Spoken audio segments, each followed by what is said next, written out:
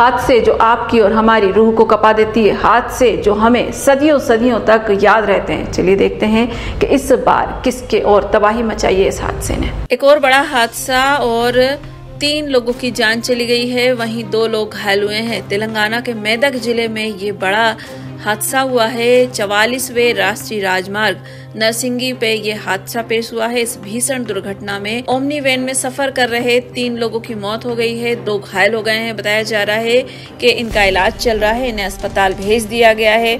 वहीं कहा जा रहा है कि ये लोग जा रहे थे। इसी दौरान ये दुर्घटना घटित हुई। मृतकों की पहचान सिलसिला ज़िले के रहने वाले गाँव के लोगों के रूप में हुई है।